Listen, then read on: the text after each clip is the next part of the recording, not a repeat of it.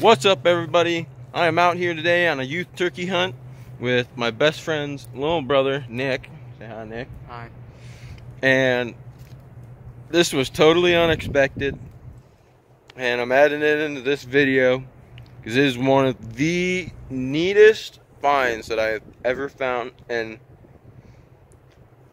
I believe I have video of this thing when it was alive. And I looked for its sheds and I never found it. Look at this thing. This buck is massive. Just look at this thing. It's a non-typical 12. Typical, what would have been an 8 if you wouldn't have busted off that tine. I guess you could still kind of count it because it's long enough, but... I mean, just look at this deer. And I can barely wrap my hands around its bases. I mean, just my hands are just barely touching when they do that. I mean, this thing, I mean, hold it up, Nick. This deer is just massive.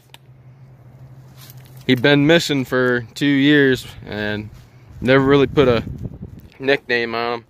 I thought I killed the biggest buck on this property up until the second to last day of season.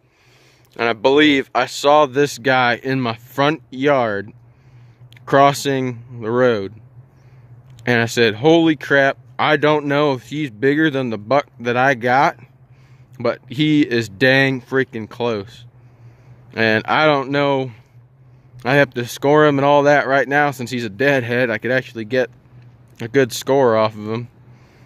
And we'll see what he scores and all that. I might add it in this video, I might not, no guarantees, but I figured it's not a shed but I mean, it's a it's a bad thing to find, but then also a good thing, you know. At least it's not going to waste. Squirrels kind of really got at it.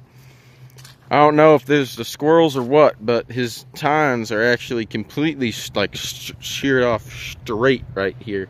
I don't know if it's from uh, squirrels or not, but uh, either that or that's just how his antlers were or what. But uh, yeah, Boone Crockett Deadhead.